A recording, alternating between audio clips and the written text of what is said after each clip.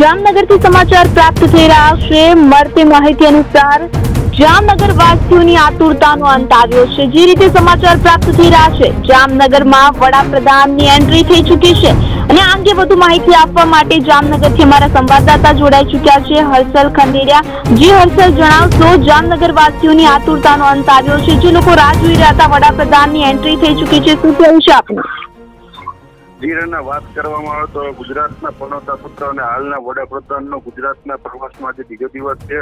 ત્યારે જામનગર વાસીઓની આતરતાનો અંત આવ્યો છે. જામનગરમાં વડાપ્રધાનની એન્ટ્રી થઈ ચૂકી છે.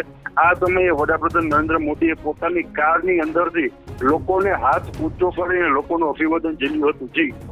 જે આપ જે રીતે જણાવી રહ્યા છો, તો આગળ હવે નરેન્દ્ર મોદી જે છે પહોંચી ચૂક્યા છે જામનગરમાં. આતુરતાનો અંત આવ્યો છે જામનગર વાસીઓની આપે જે રીતે જણાવ્યું કે લોકોનું અભિવાદન તેઓ ઝીલ્યું છે, તો આગળનો કાર્યક્રમ શું છે એમનો? જી, જો પ્રત્યે વાત કરવામાં આવે તો હાલ તો જામનગરમાં વડાપ્રધાન નરેન્દ્ર મોદીનો જે કાફલો આવી પહોંચ્યો છે, ત્યારે તે તેમના પાયલોટ સહિતના લોકો કાફલો રાજવી, જામનગરના રાજવી શત્રુઘ્ન સિંહાની મુલાકાતે જઈ જઈ રહ્યા છે. ડબલ્યુએચઓ ના ગ્લોબલ ટ્રેડિશન મેડિસિન સેન્ટરના ભૂમિ પૂજન માટે જી. હર્ષલ, વધુ માહિતી આપની પાસેથી મેળવતા રહીશું.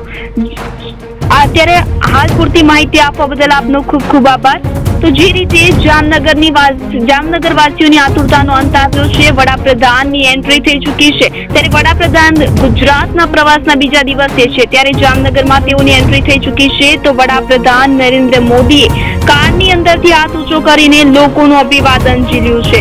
જે રીતે સમાચાર પ્રાપ્ત થઈ રહ્યા છે, તો વડાપ્રધાન મોદી જામનગર પહોંચી ચૂક્યા છે. તો કારમાં બેસીને લોકોનું અભિવાદન ઝીલ્યું છે. તો જામ શત્રુશલ્ય સિંહજીની સાથે તેઓ મુલાકાત કરવાના છે